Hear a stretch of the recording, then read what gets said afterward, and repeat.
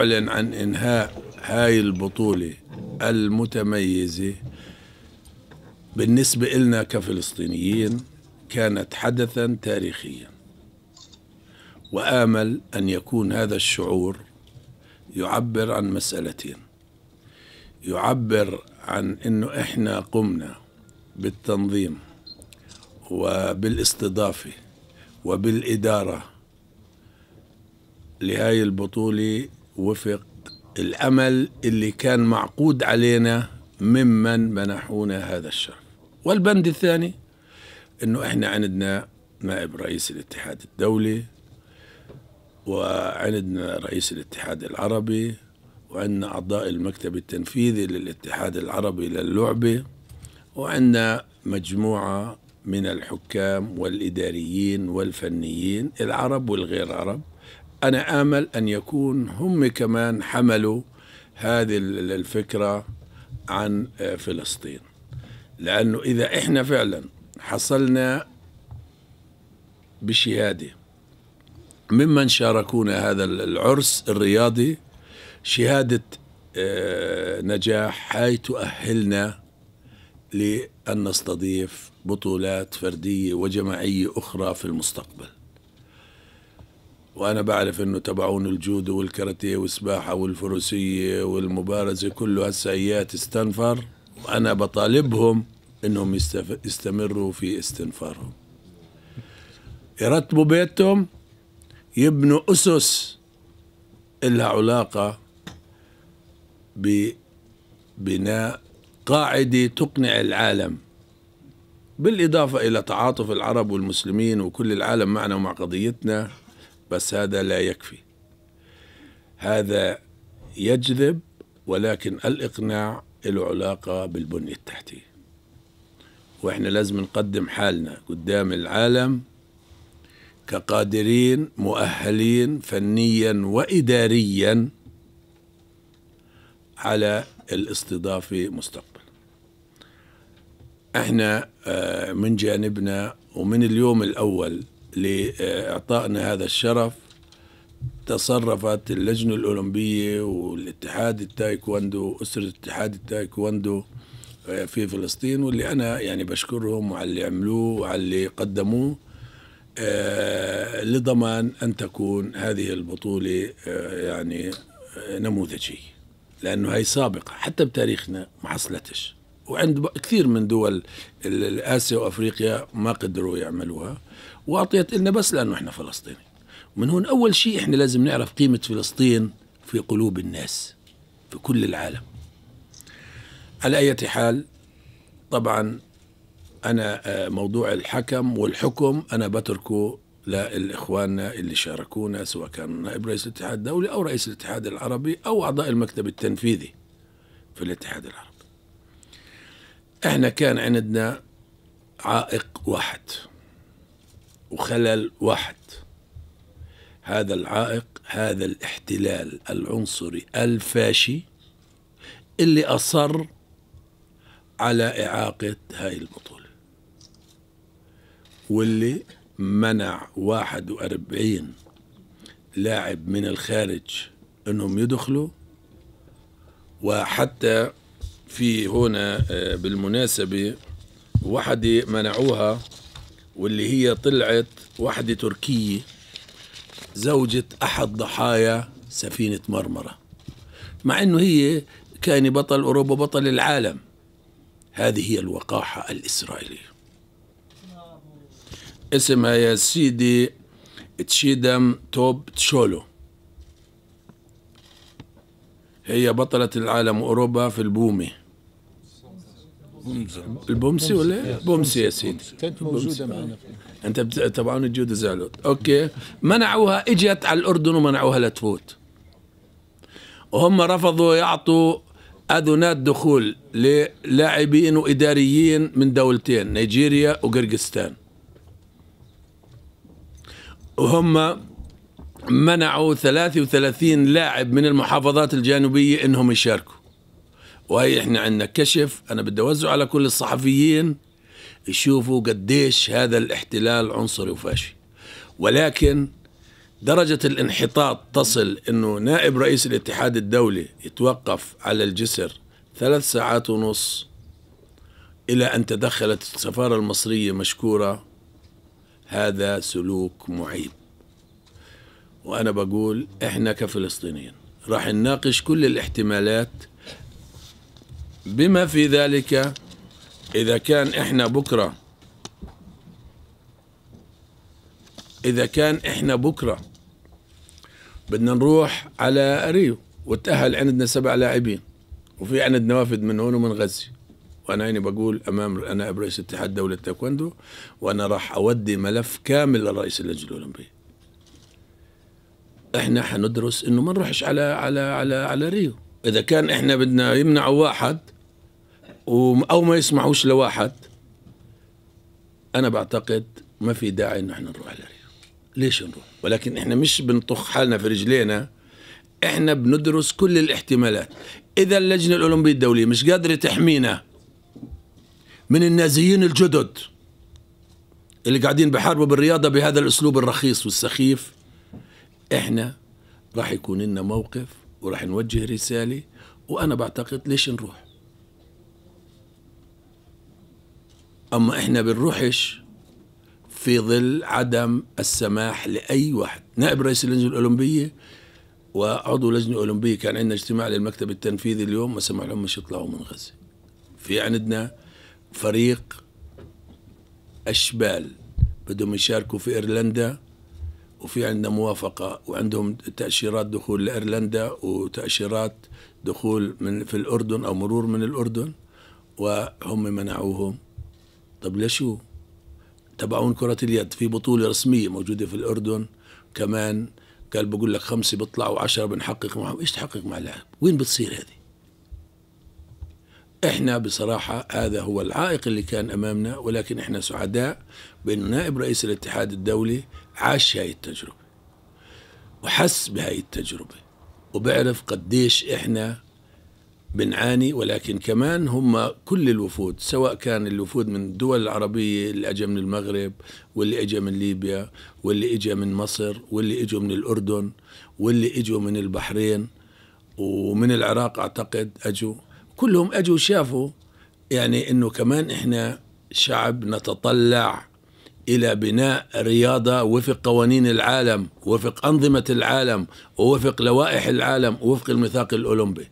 ومن هون إحنا راح نطالب ونطلب نطلب منهم إنهم فعلا هم حيكونوا سفرائنا إنه فعلا يوفروا لنا حماية كي نتمكن من تطوير هاي اللعبة ونشر هاي اللعبة. وأنا بقول هنا سواء كان اللعبة فردية أو جماعية كل الأشكال الرياضة وفق أو بمظلة أو بحماية دولية من هذا الاحتلال العنصري الفاشي. هذا اللي أنا يعني بحب أقول. الموضوع الآخر طبعا أنا برأيي النتائج لأنه الجمهور بتعرفوا هو يعني آه، بكرة القدم بقولوا آه، اللاعب 12 بس أنا رأيي أنه هو فريق لحاله 11 لاعب يعني.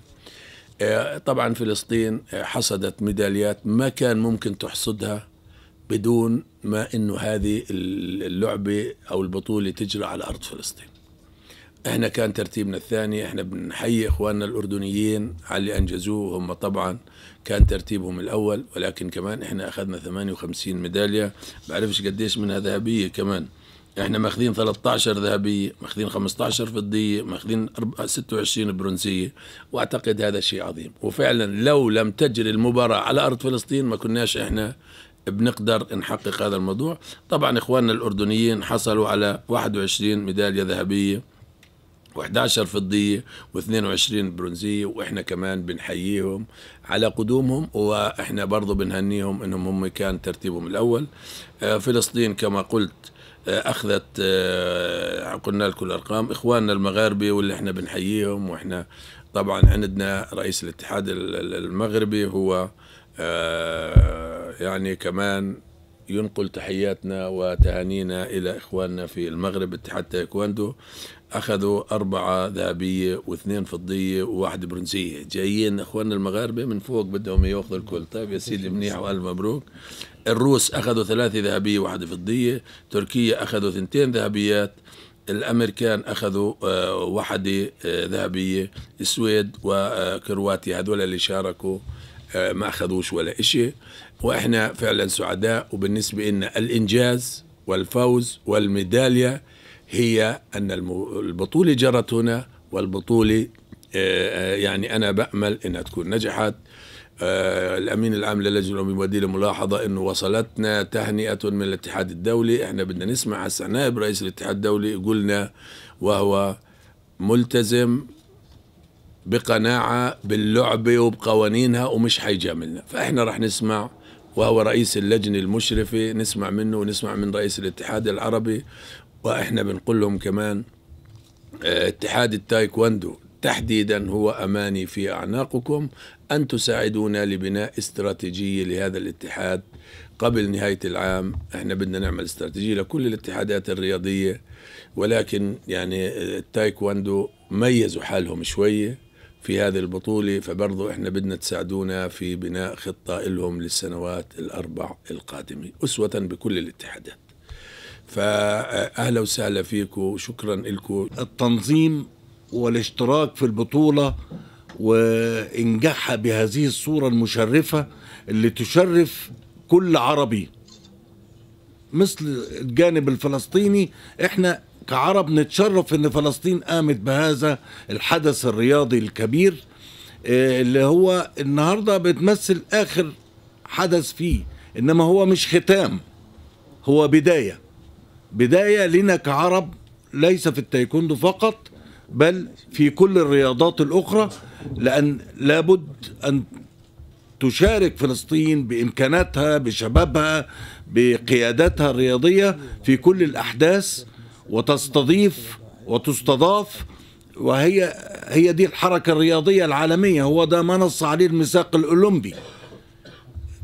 موضوع حرمان بعض اللاعبين ده أنا يعني لم أراه من قبل.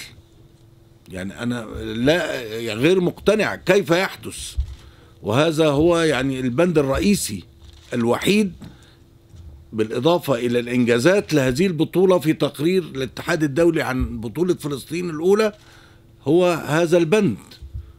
ولا بد أن الاتحاد الدولي هيصعده للجنة الأولمبية الدولية من جانبنا كما أن اللجنة الأولمبية الفلسطينية ستقوم بهذا التقرير آخر.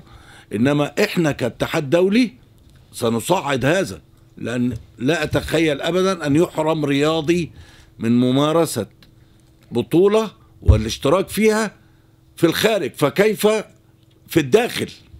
يعني غير منطقي اطلاقا يعني. آه، يعني هذا موضوع شغلنا الشاغل إن شاء الله أوعد سيادتك إن إحنا نقوم بهذا. وزملائي العرب في الاتحاد الدولي طبعا إحنا كتلة واحدة الاستاذ إدريس الأستاذ آه، حازم النعمات من الأردن السيدة كارين آه، لحود من آه، لبنان اللواء السليطي من قطر. إحنا مجموعة بنتحدث صوت واحد صوت العرب داخل الاتحاد الدولي. فهذا شغلنا الشاغل وهذا بندنا الأهم في الاجتماع القادم. وقبل هذا الاجتماع تقريرنا اللي سيصدر للاتحاد الدولي اليوم بالإضافة أن إحنا أبلغنا هذا تليفونيا أثناء اتصال رئيس الاتحاد الدولي بنا للاطمئنان على سير البطولة ومجرياتها وهو سعيد جدا وبيوجه التحية آه، وكلفني بهذا آه، هو وقيادات الاتحاد الدولي. الاوفيشيالز اللي هناك لسعادة رئيس اللجنة الأولمبية وللاتحاد الفلسطيني ولكل الحكومة على رعايتها لهذه البطولة وهذا العرس الرياضي الكبير. آه، يعني إحنا كعرب أصلا نفتخر بهذا. ويعني إحنا مش عارفين نقول إيه. من من ترحاب والحفاوة من إخواننا الفلسطينيين من أول ما وصلنا حتى الآن وحتى مغادرتنا. يعني إحنا يعز علينا إن إحنا ماشيين والله. يعني إحنا الأيام مرت بسرعة آه، لأن أيام سعيدة أيام ما لقيناش فيها إلا كل حب حتى في العيون في الشارع. يعني إحنا مش عارفين نقول لكم إيه على بنشكركم كلكم بنشكر الشعب الفلسطيني شعبنا واخواتنا واشقائنا في كل مكان. بنشكركم على ما شملتمونا به. وهذا ليس غريب عليكم. هذا ليس غريب. وهذه البطولة ليست الأولى فقط. لا ستعاد وتعاد وتعاد. وكما قررنا في مكتبنا التنفيذي للاتحاد العربي برئاسة الأستاذ إدريس بالأمس الموافقة على بطولة الناشئين العربية الثالثة بفلسطين العام القادم.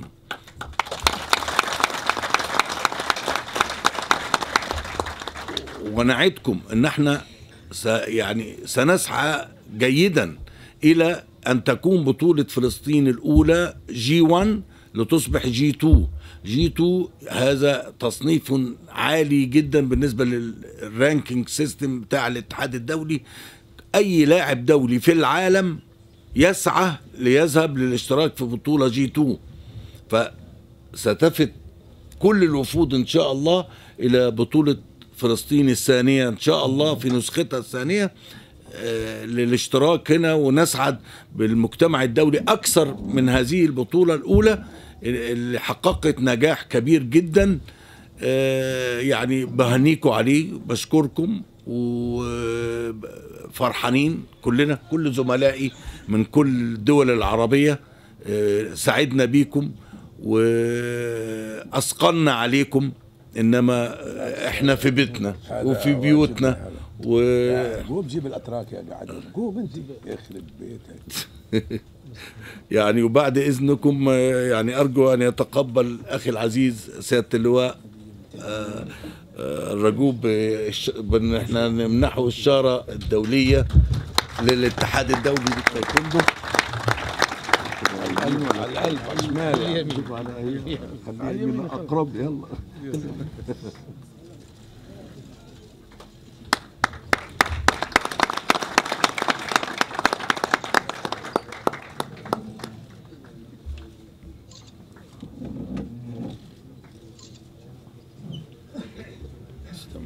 شكرا لك.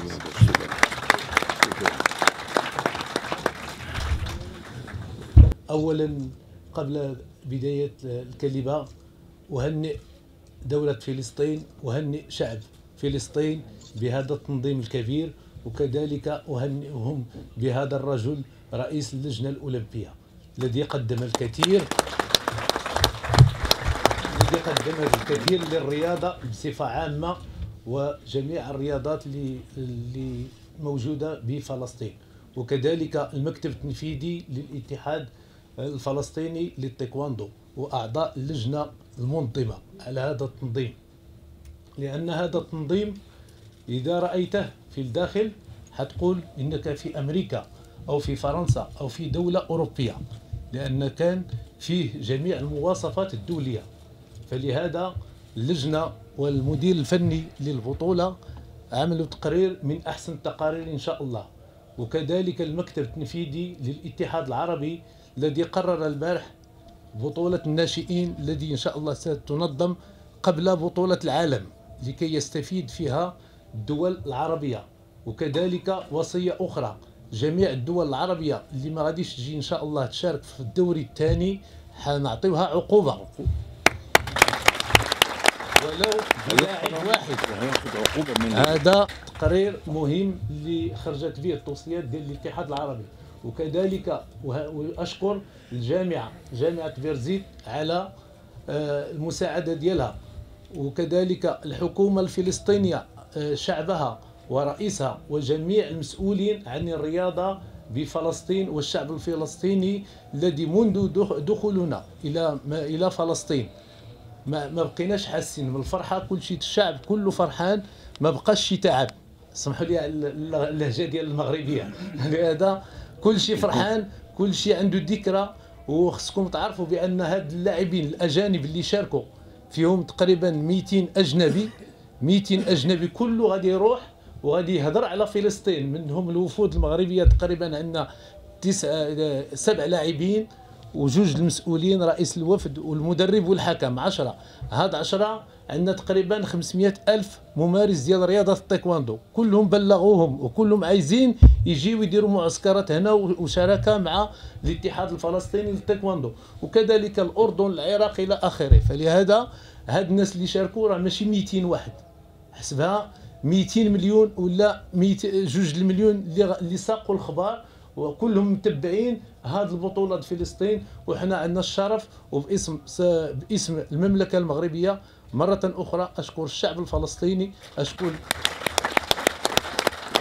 لأن هذه عندنا وصية عندنا وصية من صاحب الجلالة الملك محمد السادس وكذلك السلطات آه، المغربية مع مع دولة فلسطين لأن فلسطين هي كل شيء يحبها. وجميع الدول يبغيوها فلهذا هما عندهم معاملة خاصة. كذلك في البطولات ملي تيكونوا في البطولات خارج أرض الوطن بأن رياضة التايكوندو اهنئ السيد الرئيس سي عمر لأن دائما والمكتب التنفيذي ديالو اسمحوا لي لا نسيت شي اسم الأسماء لأن الأسماء دائما يمثلوا فلسطين في أحسن تمثيل.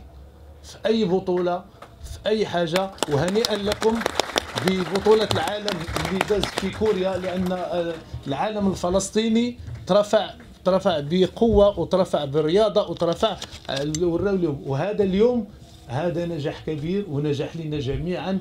وكما تيقولوا آه، الفرحة كبيرة ما نقدروش نعبروا عليها. فلهذا مرة أخرى أهنئكم وإحنا موجودين.